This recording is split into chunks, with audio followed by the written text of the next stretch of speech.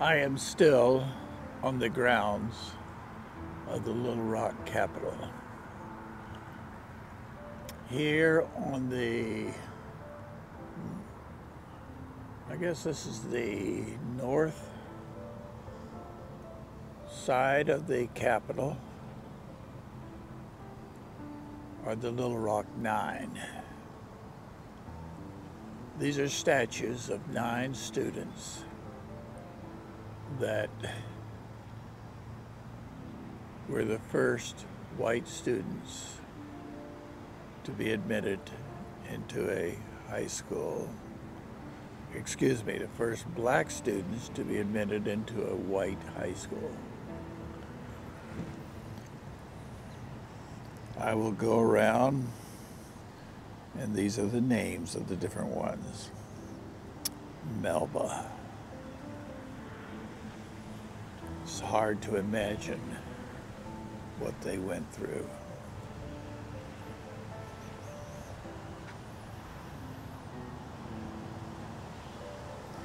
Elizabeth.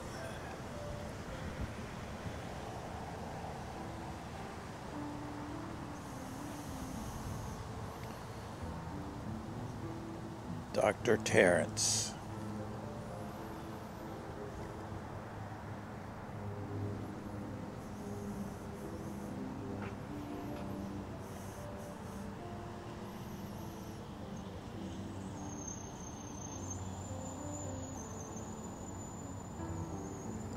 Thelma.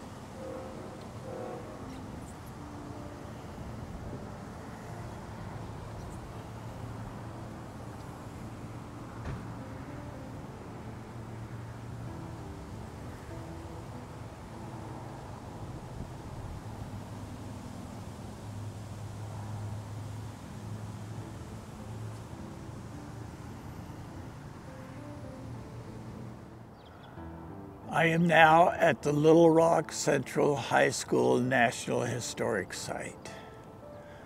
This is a what the service station looked like back in the 60s when the Little Rock Nine went to school. Many of the reporters that were reporting on the news had to come here to this service station and call in what was happening. I am going to cross the street and uh, go to the front of the school. It's a it's an imposing school.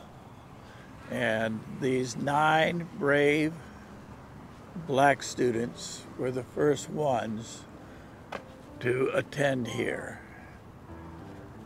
It was really neat because one year when I came, I got to visit one of the ladies who uh, was one of the nine. And so, walking down the sidewalk right now, we'll be able to see the front of the school. Also, a couple years ago, I went and did a tour of the uh, the the park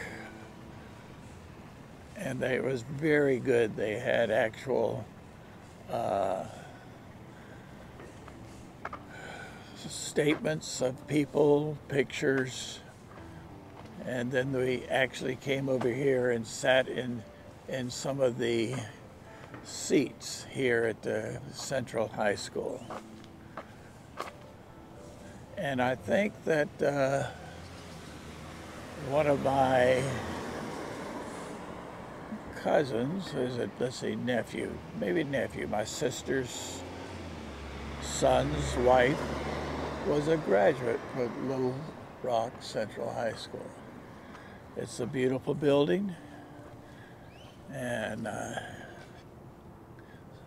still goes on.